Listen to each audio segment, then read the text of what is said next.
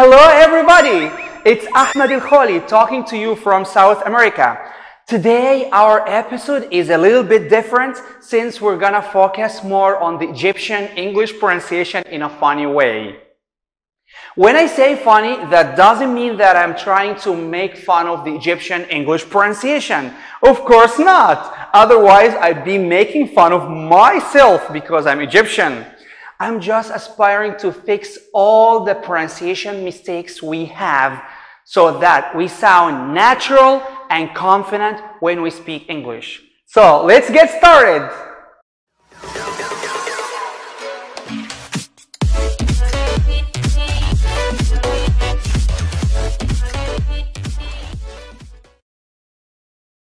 Before we go any further, I'd like to tell you that the most important thing in learning languages is communication. So if you speak English and you're confident while talking, then you don't have to be worried or rushed. Believe you me, when native speakers talk to you, they only focus on communication and meaning. Not perfect grammar, not excellent pronunciation, they only focus on the meaning whether they understand you or not. The only people who pay a lot of attention to every single word you say are us, Egyptians among each other. What I mean is, when you speak English with someone who is from Egypt, they only focus on your mistakes. But this is not how it really works with native speakers who only try to understand what you want to say. So trust me, Forget about those who underestimate your English or say you have too many mistakes. Everybody makes mistakes. I'm making a lot of mistakes while talking right now, and I don't care as long as you understand me. So now the question is, why are we gonna try to improve our pronunciation right now if correct pronunciation is not important? Then wait. There's been a misunderstanding. You can speak English while making mistakes and you might be understood, but correct pronunciation helps people to understand you faster, clearer, and easier. So, this episode for those who want to get rid of the Egyptian pronunciation. Now I'm gonna say some specific sentences, but here's the funny thing. I'll try to include all the mistakes that exist when some Egyptians speak English. And Patrick from the United States is gonna repeat all the sentences again in the correct pronunciation. Remember, again, we're not trying to make fun of ourselves. We're just trying to improve our English pronunciation more and more. Let's do it! Don't eat unhealthy food because it's bad for you. I don't know why people don't like to do sports. For me, doing outdoor activities help me a lot. Ah, I want to tell you something very important. Yesterday, I visited my old school and I met a businessman there. Help me! Help me! Nigga! Eat unhealthy food because it's bad for you. I don't know why people don't like to do sport. For me, doing outdoor activities help me. Ah, I want to tell you something very important. Yesterday, I visited my old school and I met a businessman there. I'm not only gonna correct the previous sentences pronunciation, but I will also give you general tips on how to improve your pronunciation. Well, as far as I'm concerned, Egyptian pronunciation mistakes can be summed up five points. Let's start with the first point. Don't. Don't. Well, I am not gonna explain why we make these mistakes technically and explain about the vowels and consonants, these complicated things. I'm not gonna do this. I'm just gonna point out the mistake for you and teach you how to pronounce the word correctly.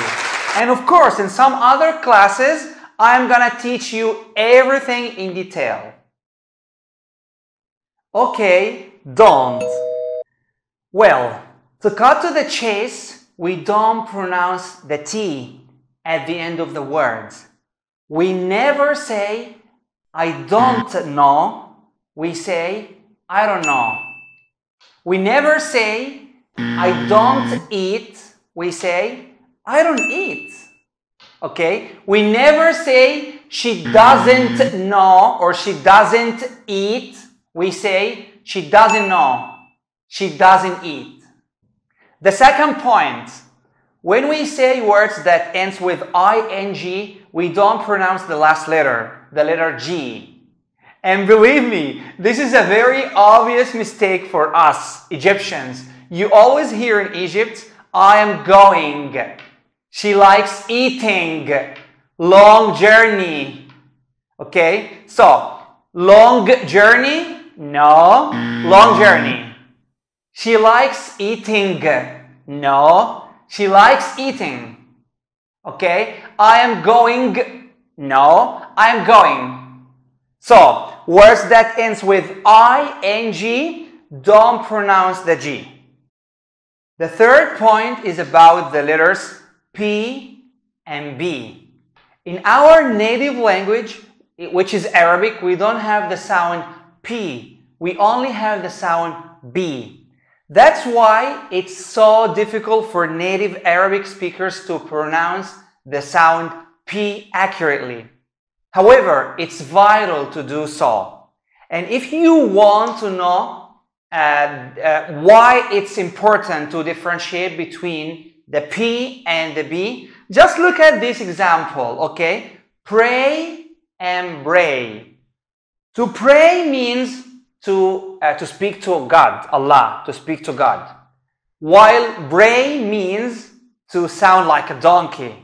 So no, just look at this example and imagine that if someone wants to pray, to pray to Allah, and they say, I want to bray, of course they just they, they don't want to bray like a donkey. They just want to pray to Allah. Okay? So please pay close attention to this, the, the letters P and B. Okay? Again, P, B. The fourth point which Egyptian people, my people, should learn today is pronouncing the TH. The TH. Just let your tongue go up and touch your upper teeth slightly. Like, thank you. That. There. The cat. Therapy. Again, thank you. That. There. The cat. Therapy. One more and the last mistake that some Egyptians make while speaking English is compound nouns. A compound noun is two individual words that carry one meaning. So, which, which one do you think is correct? A businessman or a businessman? A credit card or a credit card? A boyfriend or a boyfriend? A boyfriend. So, where do you think the stress is? On the first word or on the second word? Very good. Of course, it's on the first word. So, a business, uh, a businessman, a credit card, a boyfriend. Okay, not a businessman, a boyfriend, a credit card. Now we're gonna say the sentences again correctly. You need to pause the video and practice them out loud. Bear in mind all the tips that you've learned today. Okay? Ready? Don't eat unhealthy food because it's bad for you. I don't know why some people don't like to do sport. For me, doing outdoor activities help me. Ah, I want to tell you something very important. Yesterday, I visited my old school and I met a businessman there. Okay, now pause the video and it's your turn.